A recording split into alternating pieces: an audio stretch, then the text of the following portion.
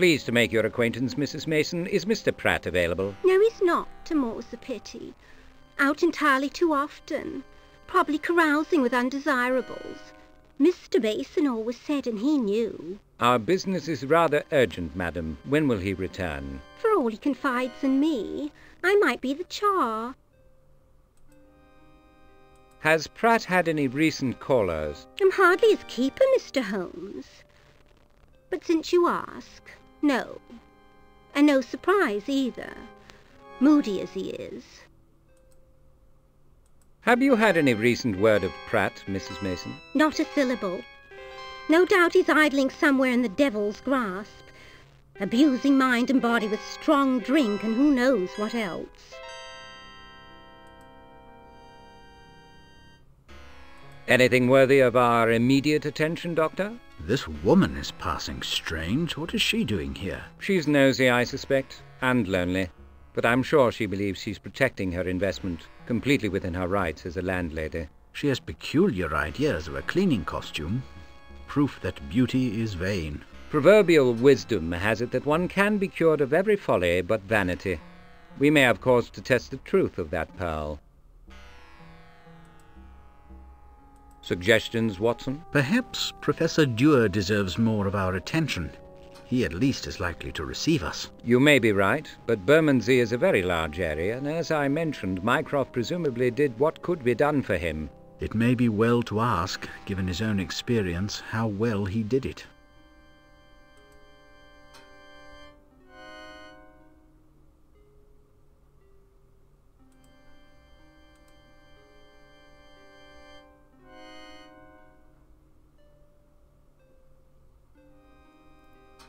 Pratt seems like an interesting character. But we have no idea where he is at the moment. And I don't think we will for some time yet.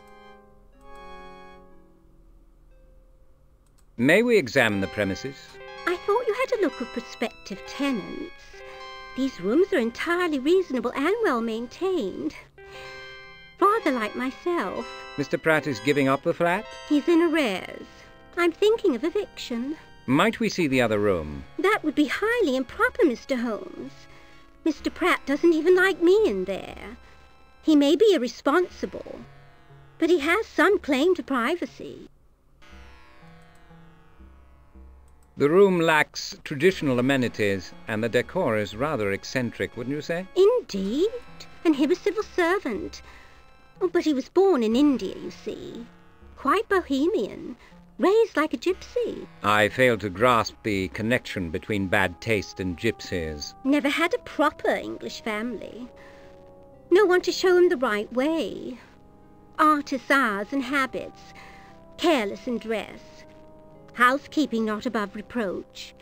If I didn't tidy occasionally, his room would be a sty. Ah, yes, I understand that type of remark all too well.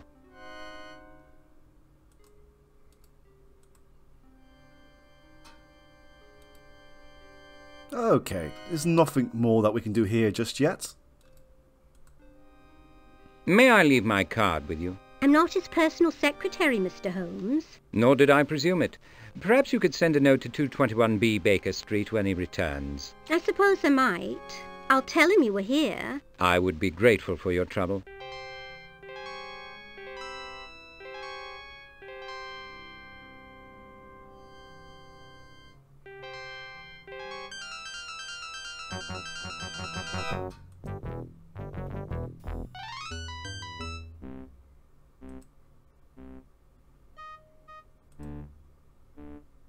Matron, we are going to the new ward. Fine, Mr. Holmes. Disregard hospital policy. Ignore my authority. Have your savage and lawless ways with us. If that's your idea of being accommodating, your manner could stand improvement. Well, we did kind of dick around with the uh, gurney and such. I don't think there's any love lost between these two, though.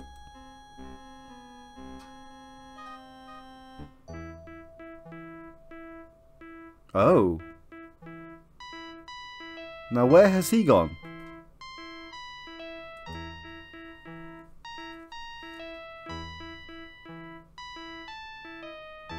Sister, what has become of the gentleman in white? The poor dear is singing in the choir invisible, Mr. Holmes.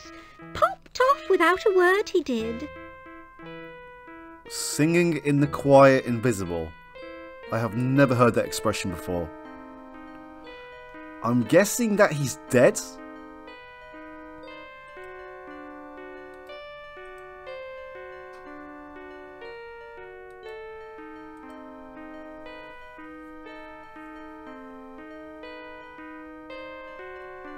Wait, I thought that we solved the puzzle.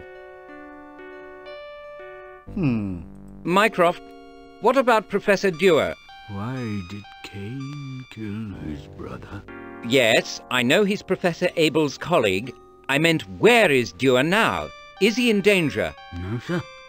Hmm. Yes, sir. Three bags full, sir. Hmm. Where was the boy? The man who made it did not want it. The man who bought it did not use it. The man who used it did not know it. What's it? Ugh, the ninth prime. Enough of riddles, Mycroft. Speak plainly. So very difficult to find really decent fish and chips. Mm, buffalo chips are used for fuel in the American West, west of Chelsea. Oh, mothers. I apologize, brother. I was frustrated. I've got the pieces now. I'm at a loss, Mycroft. I've found the fool's cap, but I can't penetrate the puzzle. Douse it, toast it, don't eat it. Sahara has none. It's better than cursing in the darkness. Wet and warm, is it? I should have known. True to your idol Poe.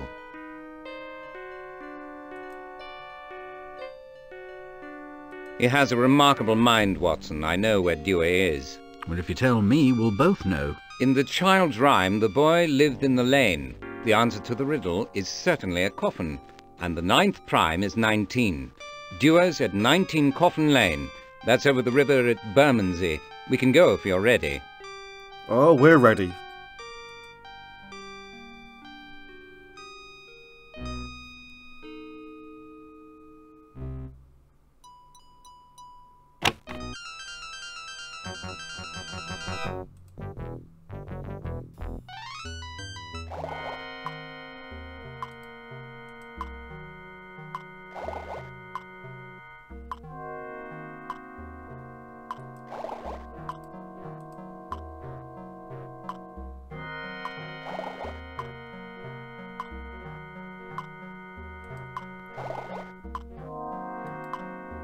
Even though there is a lot to uh, examine in here, the main point of interest is this stove just here.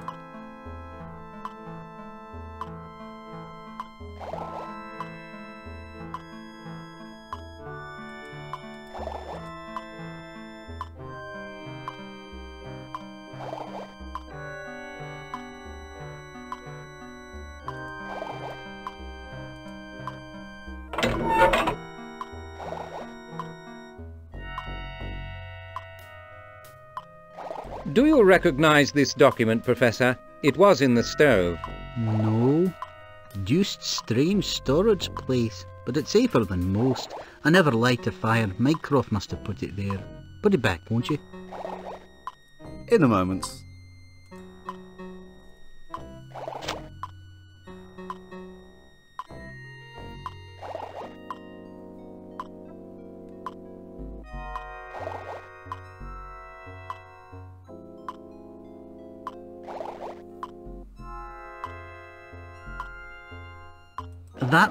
Do, Mr. Holmes. Put it back, please. It'll save me a lot of work. Is there any reason why this is going to be stored in here? Well, it's not our home, so...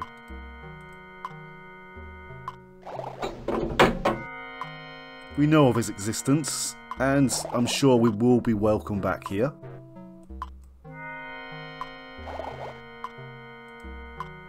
Professor Dewar, I am Sherlock Holmes. Mycroft is my brother. I perceive a resemblance. What do you want? Dr. Watson and I hope that you might help us with an inquiry. I've heard of you, sir. We can talk while I work. I'm in the middle of something rather delicate, so you might choose your spot carefully. Have you recently received any unwanted visitors? None but yourselves. I'm accustomed to working without interruption. Does your family know where you are? I'm a bachelor, Mr. Holmes. My whereabouts are my own affair. How do you come to be here? Your brother insisted, said the new formula had gone missing and that he wanted me out of the way until it was recovered. Most pleased to find this place decently equipped with research apparatus. Mycroft has been injured in an explosion, Professor. Nothing to do with my work, is it? His club blew up. The police claim it was an accident, but we believe a bomb was purposefully set, that Mycroft was the target, and that the act was related to the theft of your formula. Your hypothesis is based on sound data? It is. And had he been as concerned for his own safety as he was for yours, we might not be speaking. Can the cause of an explosion be easily determined from its consequences? Rarely, but with application and the proper research tools, one can often discover the cause from the type of fire, the nature of the physical damage, and the organic consequences. Dr. Watson discovered some fulminate of mercury, but we exhausted the supply in our experiments. If the explosion was initiated by a bomb, there is likely to be more evidence of the fact uh, a timing or detonation device, chemical burns, or some such.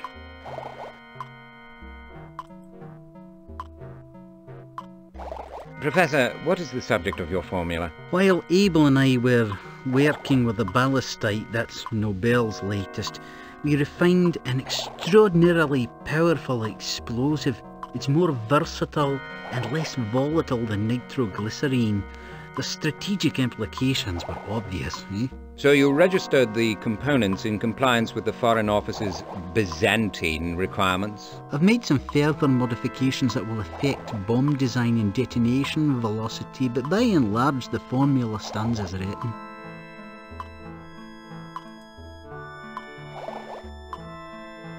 Is that a copy of your formula, Professor? It appears to have your mark on it. If it does, it's mine. Could you replicate the formula from memory? Though with great difficulty, perhaps. The formula describes a complex and unique mixture of chemical compounds. Presumably, the acquisition and manufacture of such materials would exceed the means and expertise of all but a handful of state agencies. I take your point. No one could build a bomb in the basement with it. Mycroft wasn't felled by my work. Do you have a copy of the formula? Oh, Mycroft said something about keeping a copy, but I'm afraid I couldn't lay my hands on it at the moment. Where is Professor Abel? He's lecturing in America, preaching to the converted or laying pearls before swine, depending on your prejudices. His family's with him. No offence, Professor, but I've rarely whiffed such a rank odour. No offence taken. One man's perfume is another's off. The smells do have their uses. I believe the neighbours think I'm experimenting with new mixtures of fertiliser. Contrary to the old saw, ignorance is never bliss, but it may serve a purpose. Professor, could you analyze this spring? I have reason to believe that... Enough, Mr. Holmes. I see what it is. You suspect it has material importance to the detonation of your bomb. Don't bias the inquiry further. I must form my own conclusions.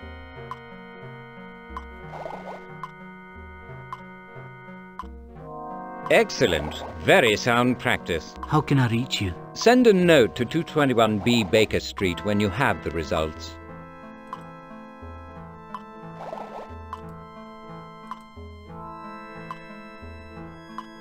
Do you recognize that penetrating mix of pungent odors, Watson? Mmm. Rotten eggs, manure, and household cleaner, I should think. Disgusting. Descriptively apt, but highly unscientific, Doctor. Ammonium sulfate and certain nitrates are nearer the mark. Perhaps, but my advice is take shallow breaths or you'll pass out. Okay, I think that we're done here. And when I first played this, I had a lot of trouble actually escaping this room. From what you can see here, there's nothing to indicate where we go. Apart from right at the top here, for some strange reason. Oh.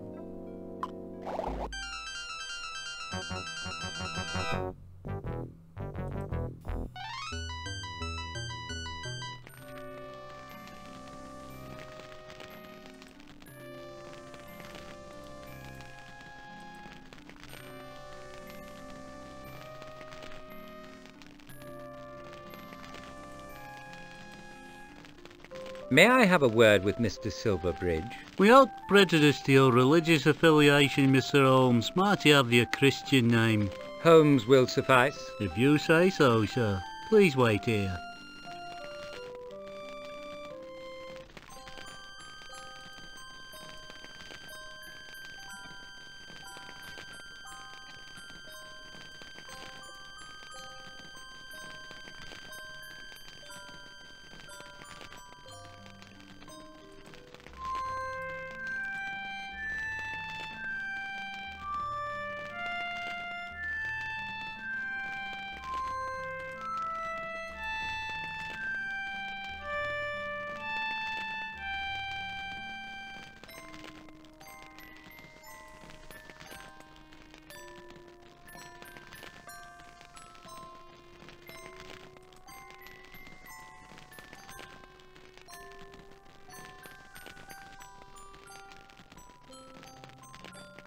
You're still here?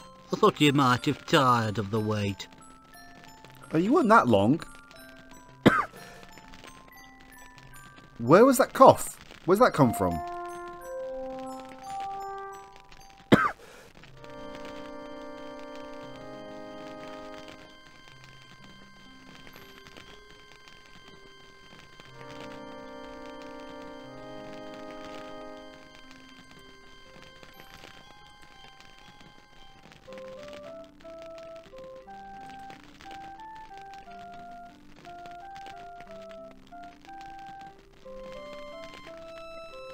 What is the problem, Hepplethwaite? Won't he see us? As it happens, Mr. Silverbridge is indisposed and cannot be disturbed. You gave him my name? I did, and he does not know you. Mycroft Holmes, yes, but you, sir, he neither knows nor wishes to include in his acquaintance at present.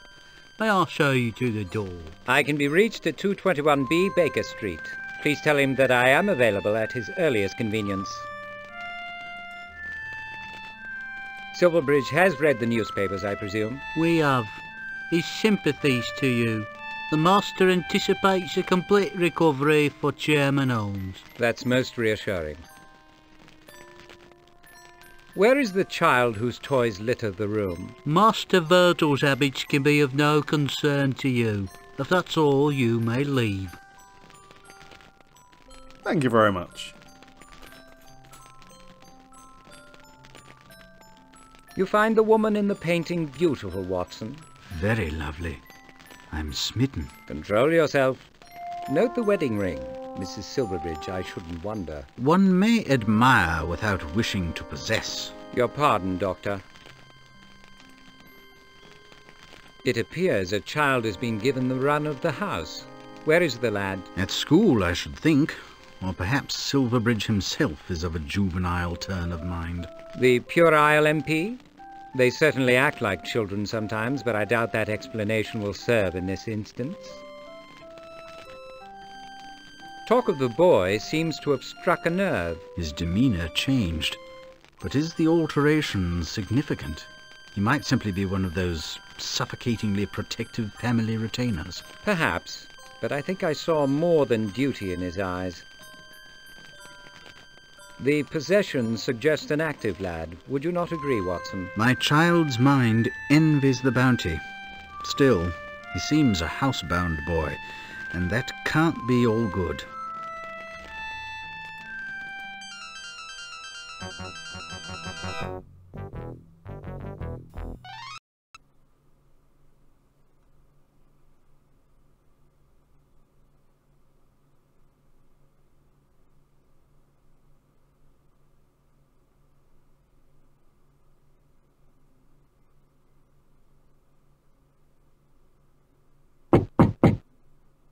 Come in, Mrs. Hudson.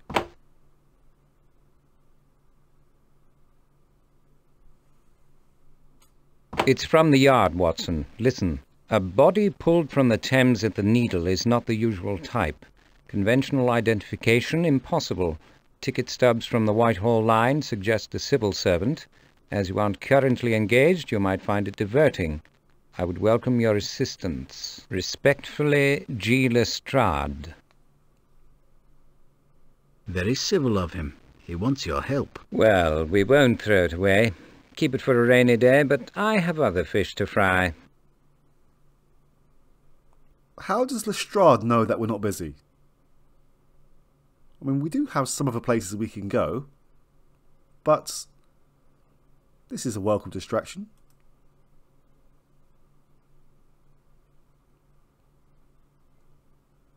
Silverbridge, Pratt, and Lord Lawton are listed in Kelly's. We'll have to find the others by more inventive means. Did Mycroft hold specific suspicions of any one of the seven, do you suppose? Hard to say, but conspiracy implies multiple suspects. Recommendations, Watson? Nothing material, Holmes, I'm sorry. Despite your best efforts, I've understood little of what I've seen or heard. But you have an inclination, surely. You might assert more of your own presence in the investigation. Yours is the finest mind for detection in the world. I don't believe you have fully exploited the leads that you have taken such pains to develop. That a corpse has eclipsed the imagination of Scotland Yard is hardly remarkable. Have you deduced the cause of death? Was it murder, misadventure, or natural causes? Suicide, I shouldn't wonder. The body is obviously unrecognizable, perhaps from being submerged for a time. Might we solve the mystery for him? Lestrade evidently thinks so. On the other hand, he may simply be trying to occupy me. His idea of kindness. A kind thought must count for something. You have a more generous disposition than I, Watson. What does your intuition tell you about our next move? Nothing. But cold reason suggests we should investigate Lestrade's nameless corpse. What makes you say so? Prudence. Lestrade is holding out an olive branch. Take it. He wants no animosity between you.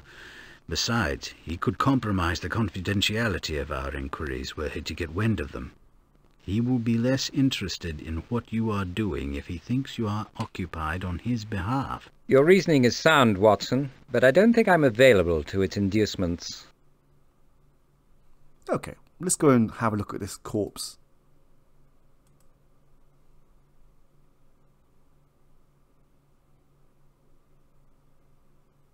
Let's be off, Watson, while the scent is fresh. I'm no tracking hound, Holmes, but I know how to hunt.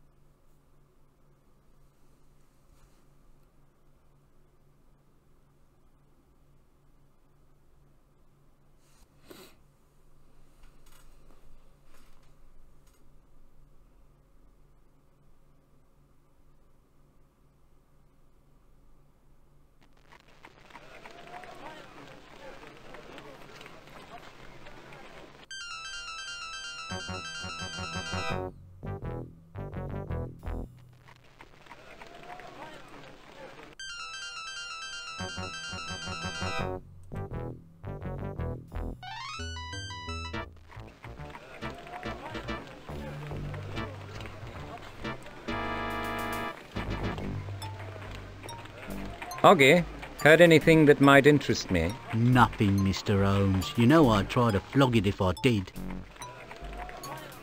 What do you know about the corpse just pulled from the Thames? Oh, about uh, half a crown's worth? At that depressed price, I'll assume against all odds that your information is worth even less than usual.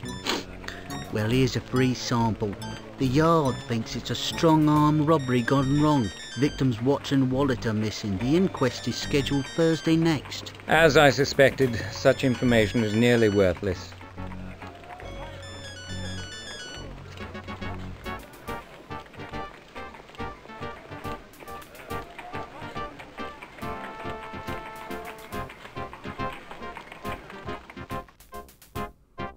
Which is more bother, Lestrade being in or being out? It's a fair question. Seems I'm the only one round here working all hours. Go in if you like.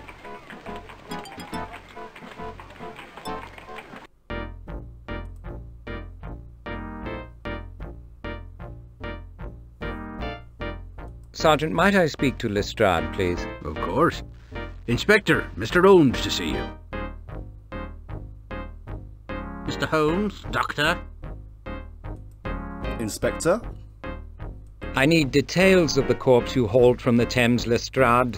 Middle age, on the thin side of average, shot in the head, cavernous hole, dead before he hit the water. The crime was witnessed? No, a riverman may have heard the shots. He found the body by the needle. He'll collect half a crown for the corpse. Claims to know nothing about how it got there. You believe him? These river chaps are a dodgy lot. He'll volunteer anything that turns a profit and nothing that won't. But I don't think he did the murder. Where can I find this worthy? The body's at Bart's, not a pretty sight. His face is gone. Can't even tell what colour his eyes were. The rest of him's all right. Hadn't been in the water long.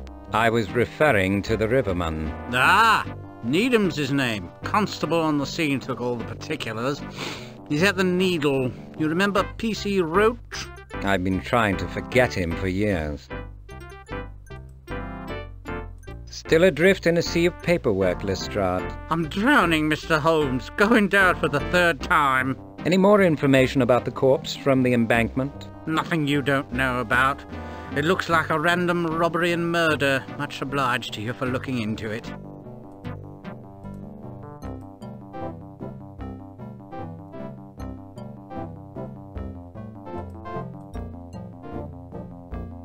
You understand we need to be more circumspect than usual, Watson. You've always kept your own counsel while sharing an investigation. True, but I've generally told Lestrade what I thought he needed to know about a given inquiry. Presently, I'm not certain what that might be. It's obvious Mycroft did not want official involvement in this matter. Then keep a close watch on your emotions, and I'll keep my tongue between my teeth. Is there anything here to detain us further, Watson? I don't think so, Holmes. But you often extract valuable nuggets from what I have deemed a tapped out vein.